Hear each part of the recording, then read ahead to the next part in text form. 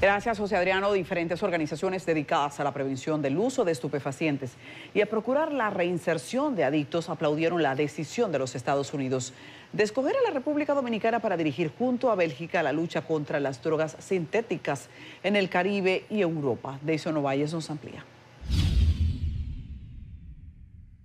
contra el narcotráfico es que la República Dominicana fue escogida para encabezar junto a Bélgica la lucha contra la droga sintética.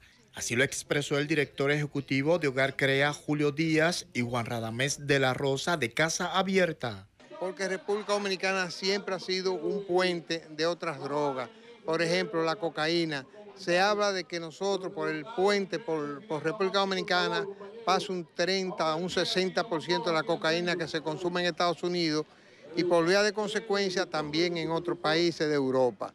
Puede resultar beneficioso para el país que el presidente de la República se comprometa a trabajar como líder en la lucha contra la droga sintética. Las drogas sintéticas provenientes de la manipulación de productos químicos y dentro de ellas podemos encontrar fentanilo, éxtasis, metanfetamina, entre otras. Por los efectos dañinos que causan los narcóticos, es que estas personas piden que se establezcan políticas de salud donde los consumidores se dejen de tratar como delincuentes y se le ofrezcan las atenciones adecuadas.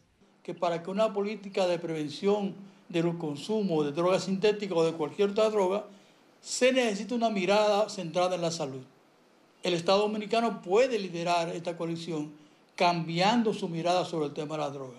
Según la Dirección Nacional de Control de Drogas, del 2020 al 2024, más de 148 mil toneladas de drogas se han decomisado en el país.